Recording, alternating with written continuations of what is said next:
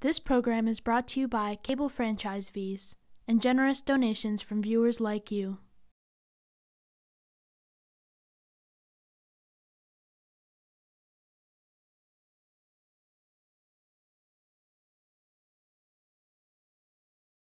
I'm Claire Healy.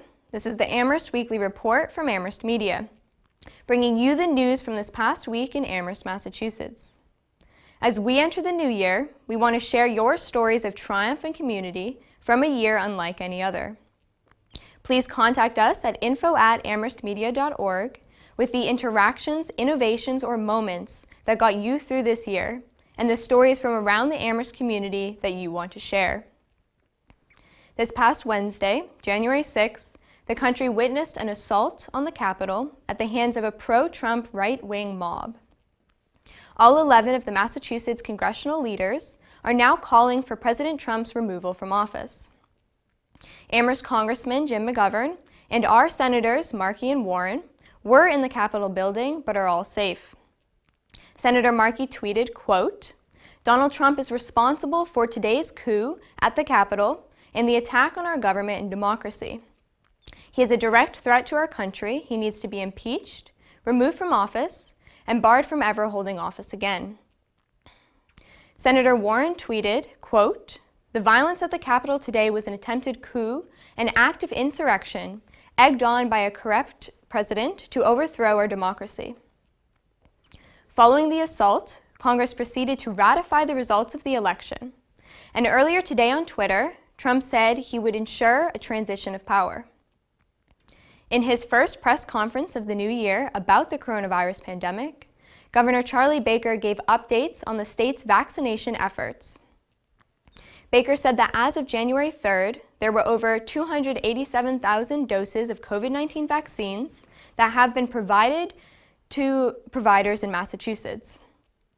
As of earlier this week, over 116,000 of those doses were reported by the governor as being administered.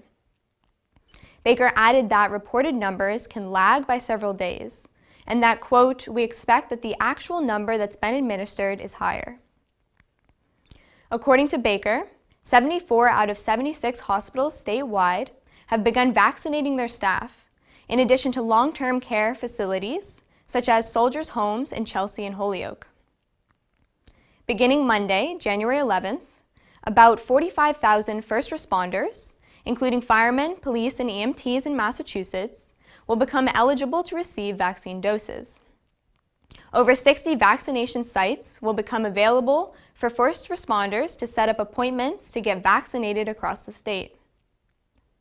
According to a map from the state's website, this includes sites at the Bangs Community Center, the Northampton Senior Center, and the UMass Amherst Campus Center. Baker has said that vaccine distribution, quote, can't happen fast enough, but that it must also be thoughtful and thorough. Massachusetts Secretary of Health and Human Services, Marylou Sudders, added in the same press conference that the state has updated prioritization for those over the age of 75 to now be included in the Phase 2 Group 1 set of vaccine distribution. This change impacts approximately 170,000 people in the state and includes them in a group with individuals of all ages who have two or more chronic diseases. The Department of Public Health is also updating the dashboard on the state's website for COVID-19 data in Massachusetts to be more accessible, according to Baker. The changes will now allow users to review criteria such as hospitalizations and case numbers over specific time periods. New daily numbers concerning COVID-19 will continue to be posted at 5 p.m. each day. On Thursday, Baker held a second coronavirus update, where he extended the restrictions around gatherings and businesses in Massachusetts until January 24th. Testing remains open to the public at the UMass Public Health Promotion Center, located at the Mullins Center. Updated days for testing will continue to allow members to, of the public and the UMass community to receive free testing Monday through Thursday from 9 a.m. to 4.30 p.m. through January 21st. Tests are available by appointment only and are available to be scheduled at uma.force.com slash COVID testing. The program will change after January 21st to more limited hours for the general public as students begin to return to campus. And UMass adjust to provide twice weekly testing to all students. Anyone ages 10 and older without symptoms of COVID-19 is eligible for asymptomatic testing. Springfield police arrested a man this past Sunday in connection to the Martin Luther King Jr. Community Presbyterian Church fire in Springfield.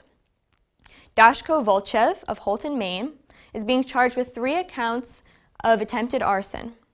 Vulchev is also being charged with several counts of malicious damage, according to the Department of Fire Services. He is scheduled to appear Monday morning at Pittsfield District Court.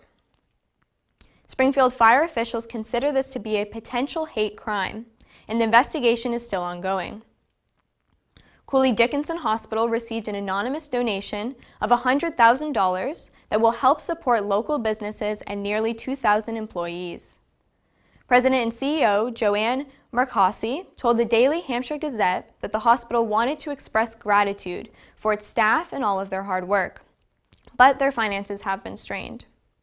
This anonymous donation will put $50 gift cards in the hands of the hospital's doctors, nurses, receptionists, and cleaning staff. According to Marqusee, the benefactor requested the donation be used as a way to, quote, show deep appreciation for the staff. The gift cards are from local small businesses so that they can also be supported during this difficult time. Thank you for tuning in to the Amherst Weekly Report from Amherst Media. I'm Claire Healy. Stay safe and join us again at the same time next week.